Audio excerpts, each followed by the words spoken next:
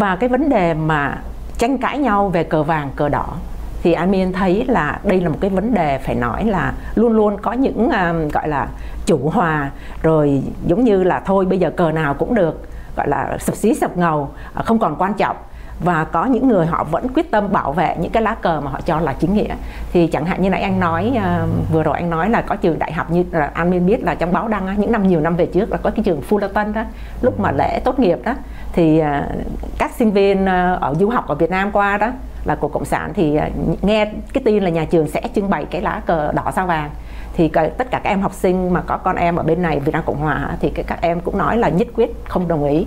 Mà nếu trường mà cứ để cờ đỏ là các em sẽ không có đến dự lễ tốt nghiệp. Và cuối cùng như anh nói là trường cũng chọn cái giải pháp là không treo cờ nào. Không treo cờ nào. Rồi bây giờ cái vấn đề gần đây đó là cái vấn đề đó là có một cậu bé ở bên úc đó là người của uh, du học cũng là du học sinh ở bên cờ đỏ qua. Mà cái, cái hành động này thì an miên nghĩ là quá đáng.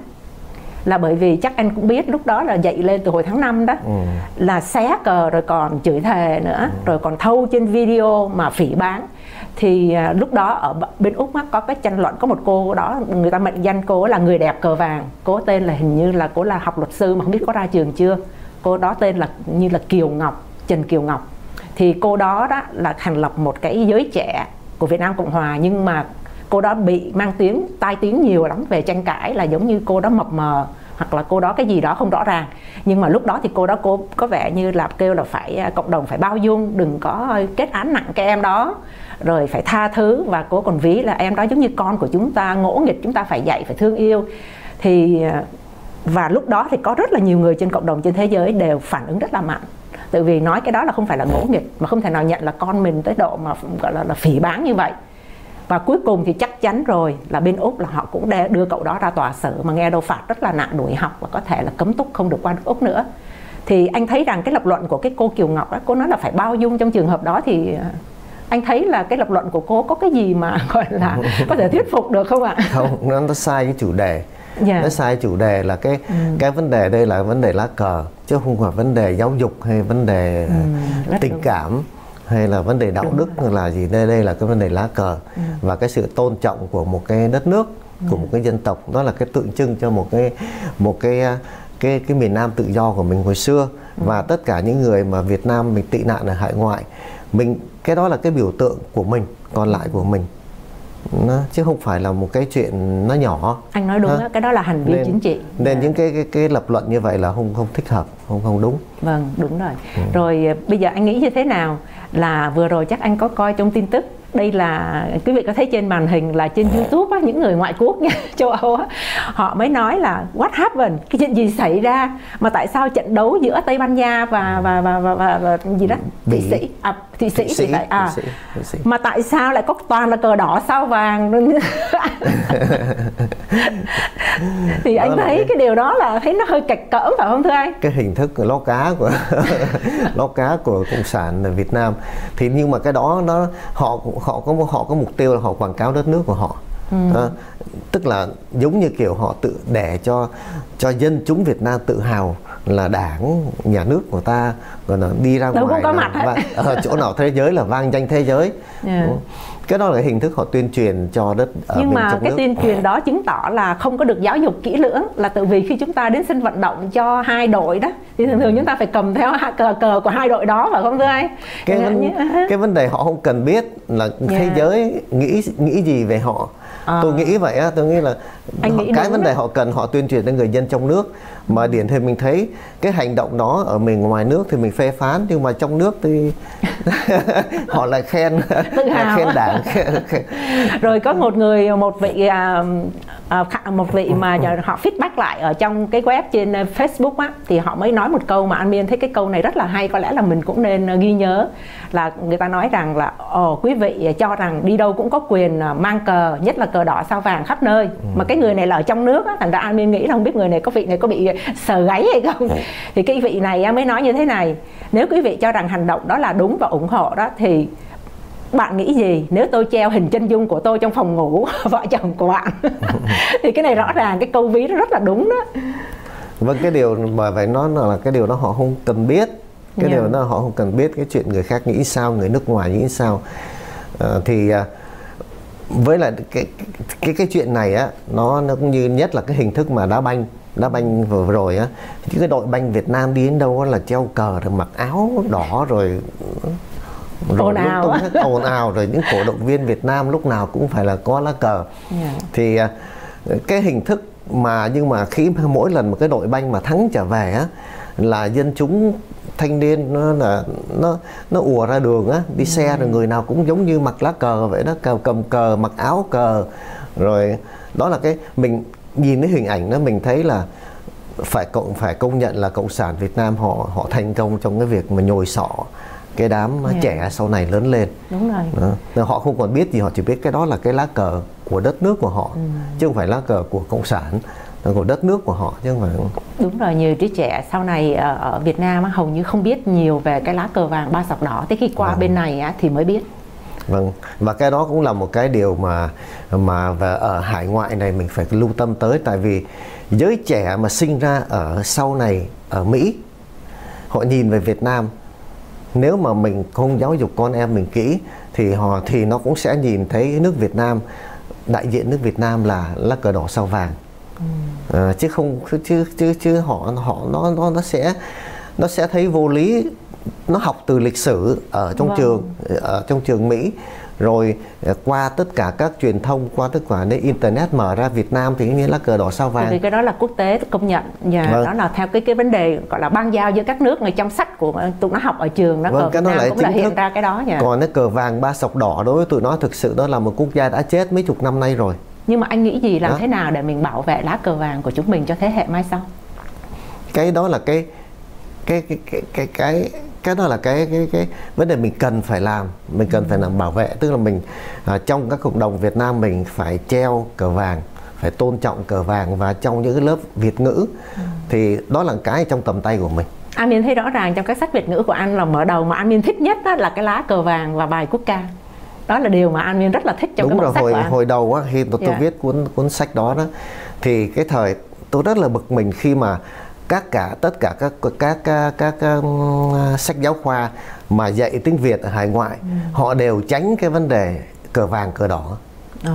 đều tránh cái vấn đề họ nói cái vấn đề chính trị ừ. không phải mình trong uh, tức tức là mình trong giáo dục mình không có có nói chuyện về chính trị cái đó không cãi. phải chính trị anh miên lại thấy rõ ràng là anh miên là con người không có thích là nói là đúng ừ. và sai nhưng cái điều này anh miên phải nói lá cờ vàng ba sọc đỏ đó là lịch sử của đất nước chúng ta chứ không vâng. phải là vâng. chính trị thực sự yeah. Dạ. cái lập luận đó là lập luận của cộng sản chứ không không vâng. phải của ai khi họ quay qua mình họ biểu thôi các anh uh, văn hóa về mình nói chuyện văn hóa mình nói chuyện giáo dục mình không nói chuyện chính trị ngay cả các giới giáo sư hay là sinh viên giáo sư của Việt Nam mà qua đây các trường đại học để họ giống như giao lưu với trường đại học đó họ giảng cho học sinh ở bên này cho Việt Nam bên này á ban đầu họ cũng nói là à, chúng tôi nói chuyện văn hóa chính trị không à, không có nói chuyện chính trị ở đây ừ cái đó là một cách mà mà mà né vấn đề.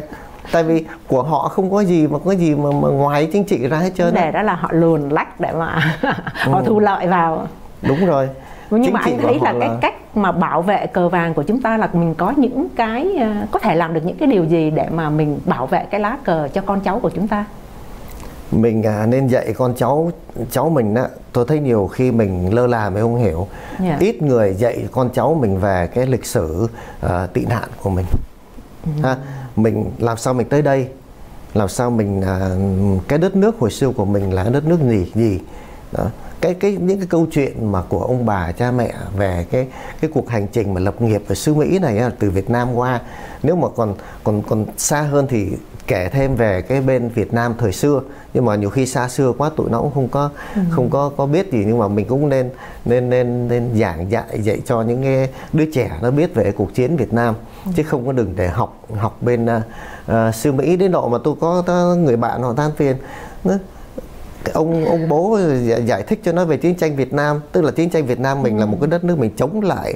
à, cái cái nước cộng sản nó nó yeah, nó, nó, nó xâm lăng mình yeah. tức là mình là một đất Việt Nam Cộng Hòa là một đất nước được quốc tế công nhận được Liên Hợp Quốc công nhận và mình chống lại sự xâm lăng của cộng sản giống như Nam Hàn mà mà chống lại Bắc Hàn vậy á vâng. còn cộng sản nó nói là mình là tay sai đế quốc Mỹ mình à, nó phải phải lấy lại để đánh đánh đuổi đánh đuổi đế, đế quốc Mỹ. Yeah. thì cộng sản á, thì uh, các giáo các các các mà um, sách sách ở đây nó dạy á thì cũng theo cái chiều hướng đó thôi theo chiều hướng cái lịch sử của cộng sản ừ. đó Đúng nên rồi. nên mấy đứa trẻ Việt Nam nó nó nó về nó còn nói ông bố bố chẳng biết gì bố nói không có bằng có chứng con học đang có để cái điều đó rất là ừ. rất là nguy hiểm uh, mình cộng sản họ bỏ biết bao nhiêu công sức họ tuyên truyền ừ. tuyên truyền dữ lắm nếu mà mình ngay cả trong cái sự xuất hiện của cờ vàng ở trong cộng đồng của mình cũng vậy nếu mà cộng đồng mình đó mà mình lơ là nó thì cái cờ đỏ nó sẽ sẽ vào ngay lập tức. Có bao nhiêu có nhiều cách mà nhiều khi mà mà tụi ờ, cộng cộng sản họ cũng tìm cách họ lên lỏi đấy chứ. Như Đúng như có thời gian nào gần đây họ họ họ thay vì họ họ tổ chức họ để trưng cái cờ đỏ ngay trong cộng đồng. Nhưng mà họ đi ra ngoài thành, thành phố xa xa chẳng hạn dạ, vậy họ mở cuộc triển lãm nghệ thuật của họ nhưng mà trong đó có treo cờ đỏ chẳng hạn. Ừ. đó nó, nó đâu có vào trong cộng đồng của mình đâu vâng. nhưng mà những cái hình thức như vậy thì nó sẽ lần lần nó nó, nó lần lần nó lấn theo nó lấn vô nó xóa nhòa đi một cái di sản cờ vàng và vâng. sắc đỏ của chúng nhưng ta. mà cái cái cái cái quan trọng tôi nghĩ quan trọng của để để để mà gìn giữ cái cái cái cái cái, cái cờ vàng á là để cho một Việt Nam sau này tôi nghĩ là Việt Nam tương lai cờ đỏ nó sẽ đi cộng sản nó sẽ đi hết mà ừ. Việt Nam mình sẽ trở lại cờ vàng vâng thì ai ai cũng có một cái niềm hy vọng là chính nghĩa phải thắng được gian tà yeah. Dạ. vâng và nói về cờ thì Amir mới thấy là vấn đề mà biểu hiện lá cờ như thế nào ở giữa công cộng thì vừa rồi trên tin tức á, là cái ngày lễ tốt nghiệp tháng tư đó thì báo ngoại quốc có đăng hình à, một cậu bé người Mexico cậu khoác cái à, lá cờ mễ thì chắc anh cũng biết là và nhà trường nhất quyết là không có trao cái bằng tốt nghiệp thì nói chung không phải là kỳ thị mà là bởi vì cậu đã vi phạm cái code dress code tức là mặc ừ. quần áo của lễ tốt nghiệp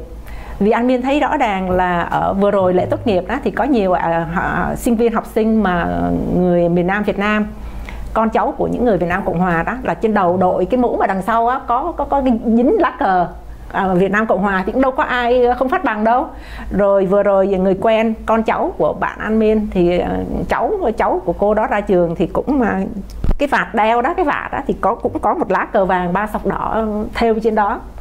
Thì An Miên thấy rất là đẹp phải nói khi chụp hình và nói chung là ở đó có những người ngoại quốc họ lại họ cũng bắt tay rồi họ họ nói là lá cờ so beautiful is it your country thì đại khái như vậy. Thì An Miên mới thấy là đó là niềm vinh dự. Chúng ta qua đây à, con cháu chúng ta được à, hưởng thụ và tiếp thu cái nền à, một đất nước thứ hai. Giờ nuôi dưỡng chúng ta đó là nước Mỹ đẹp rồi tiếp theo là chúng ta vẫn kiếp giữ, giữ gìn cái di sản về cái lá cờ vàng ba sọc đỏ như nãy anh nói vâng. còn cái vấn đề mà xâm phạm thì nói chung á, là chắc chắn là như nãy anh nói cờ mà chạm đất cũng không được, chúng ta không thể nào có nhiều người nói tôi thích, thành ra tôi bọc cái ghế tôi ngồi bằng cái lá cờ. Thì cái đó anh nghĩ cái đó là có thể ngoại quốc cho là một cái à, nghệ thuật. Nhưng mà anh thường thường không có chấp nhận cái cờ gì mà để dưới chân của mình hoặc là mình ngồi lên, phải không thưa anh? Vâng mới đây mới đây có một cái chuyện cho là không có không có à, báo chí mà loan tin nhiều. Amazon họ ừ. có bán một cái um, một cái đồ mà phủ lên trên cái cái cái bồn cầu á những ờ, nắp cầu á cái đó chết mất hình cờ vàng ba sầu đỏ với cái cái tấm thảm mà để chân ở cái bồn à, cầu á đó đó, đó. Uh-huh. hình cờ vàng ba cờ, cờ vàng ba sọc đỏ yeah thì có một nhóm họ một nhóm mà cộng đồng mấy mấy em trẻ sinh trẻ Việt Nam á họ mới làm cái cái cái change.org cái petition một cái thỉnh nguyện á để ký tên à, đúng cuối cùng rồi yeah. Dạ. gửi ra Amazon cuối cùng họ họ dẹp cái đó đi ừ. họ không bán cái sản phẩm đó thì ừ. cái đó là một cái hình thức tôi nghĩ chắc chắc cộng sản họ có bàn tay bên trong đấy à, bàn tay ai đó nó, nó họ muốn bàn tay cờ đỏ bên đó. trong rồi thì bởi vậy mình mình phải lúc nào cũng cũng đủ phải hình cảnh thức giác, cảnh yeah. giác trong những cái chuyện vậy vâng. như vậy là chúng ta đã thành công trong vấn đề con cái cháu chúng ta bảo vệ cờ vàng rồi phải không thưa anh vì vâng. rõ ràng là dù cái tấm thảm có đẹp cấp mấy cũng không thể nào mà lấy một hình lá quốc kỳ mà để trên thảm hoặc là trên cái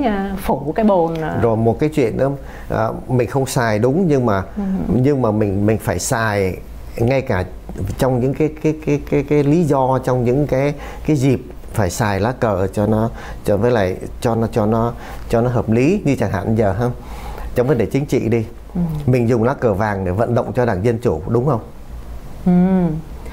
Hỏi không không đúng không. không? No no no. Hay mình lá cờ vàng mình vận động cho đảng cộng hòa đúng không, không? được.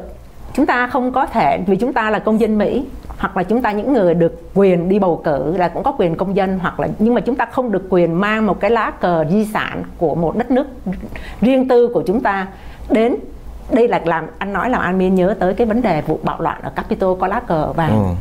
an miên thấy là hầu như các cụ nhất là những người mà chính quyền ờ, của việt nam cộng hòa cũ đó các cụ còn lại đó đại đa số là rất là đau buồn về cái cái cái cái vấn đề nhìn lá cờ vàng ba sọc đỏ ở trên thì cái, đó cái, khi cái, mình sử loạn. dụng sử dụng cái, cái cái cờ đó là cho cái mục đích chính trị cái cá nhân của mình đó là vâng. hoàn toàn là không đúng tại vì cái lá cờ nó đại diện cho người dân Việt Nam cái người dân tị nạn người dân miền Nam chứ nó không có đại diện cho Đảng Cộng Hòa. Nó không theo Đảng Cộng Hòa không đèo dân dân dân chủ không theo người trắng không theo người đen. Nó chỉ có những cái gì mà đem lại quyền lợi cho người dân đại diện cho người dân uh, miền Nam thì mới được quyền bảo quyền uh, tượng trưng cho cái chuyện đó thôi.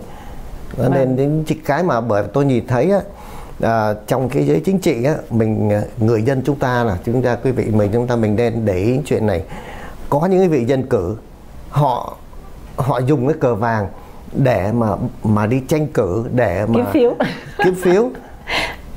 Cái đó là chúng ta cái đó là dụng thấy, đó.